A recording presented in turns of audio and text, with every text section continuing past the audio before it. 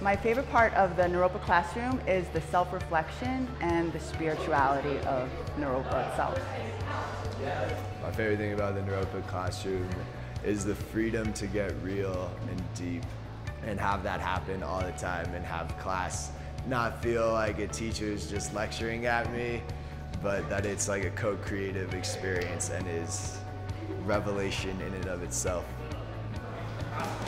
Probably the size. It's more intimate and comfortable.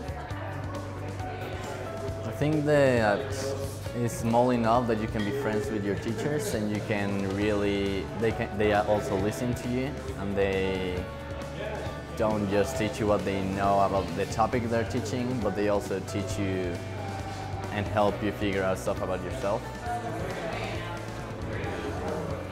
The honesty. I feel that Naropa holds a container for honesty that is so rich and valuable and priceless, really. The way that everybody comes together with their full, authentic self is so beautiful.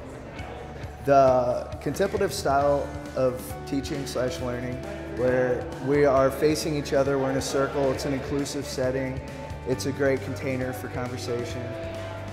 Um, I would say the experientials that we do with the other students and my interactions with the teachers.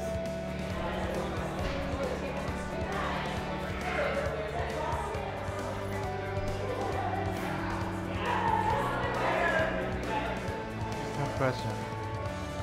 The classroom setting is very intimate and um, I really like how we're not just another statistic number in a big lecture hall.